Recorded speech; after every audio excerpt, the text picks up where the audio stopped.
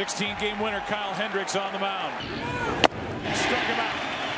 Oh, they leaning. Picked him off. Now he strikes him out down. Hendricks in total command. Still rolling. Two out. Base hit by Josh Reddick ends an incredible string by Kyle Hendricks. A masterpiece for the 26-year-old.